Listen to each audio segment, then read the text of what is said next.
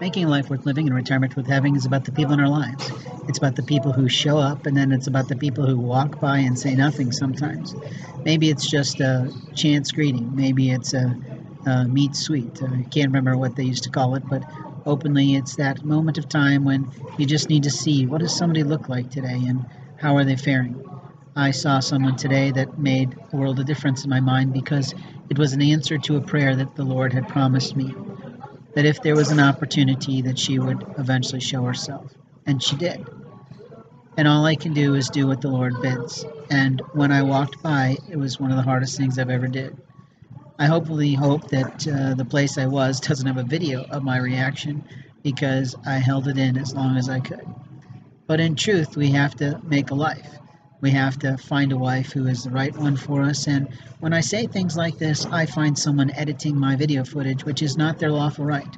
I've not given up my rights to anyone to interfere with my life or to move someone to walk up to me in a steak and shake after I purchased a meal that legitimately I should have been able to have by myself without anyone knowing, and someone literally stepping in the front door and and pompously, you know, calling at me across the way, "Did you eat?"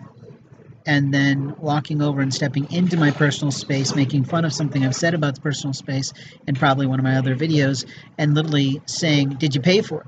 or something to that effect.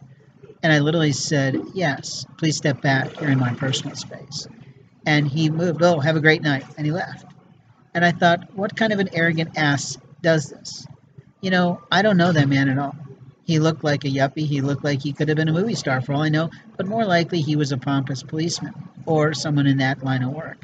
Now, why do I say that? Because I want to watch my video get edited illegally by someone doing it illicitly and immorally. And frankly, I don't care what people think what I look like right now because I'm living life. I had a great day today. I spent literally from practically 8:30, I'm guessing, when I got dropped off, to almost 6:30 at night, in and out of Target today. I had a lot of work to do. I had a lot of preparations to put together, a lot of research to do, and openly, it was a good time.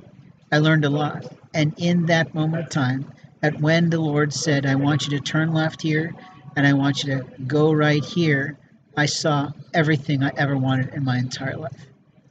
Because without that, I have nothing in this world.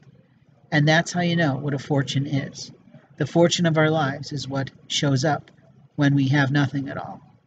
And that's how you know that the Lord is in your life, that He's hearing your prayers, and He knows what you want most of all.